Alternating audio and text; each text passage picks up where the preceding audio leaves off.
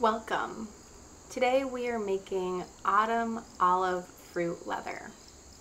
The autumn olive is considered an invasive species. However, its berry, which is high in vitamin A, C, and E, and is also high in lycopene, is edible and can be used in a variety of ways such as sauces, stews, jams, and pies.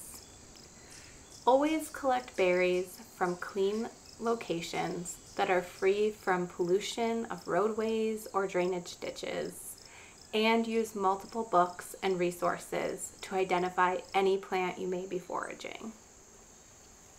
Begin with 8 cups of autumn olive berries.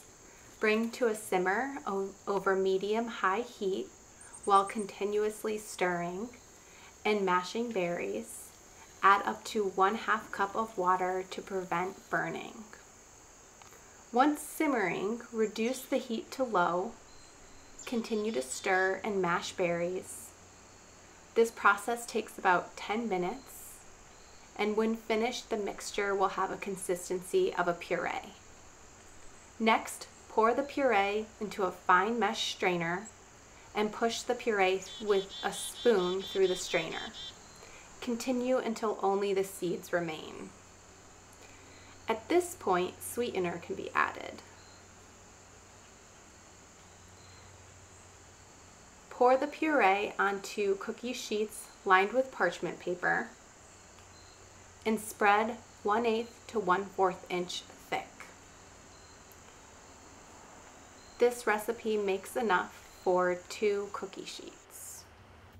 Dehydrate in the oven at 100 to 150 degrees and monitor the fruit leather. When finished, it will be dry to the touch and it will easily peel off the parchment paper. Next, the fruit leather can be cut into shapes and then rolled and stored in an airtight container. It can be kept in the refrigerator or freezer for long-term storage and enjoy. It's so good.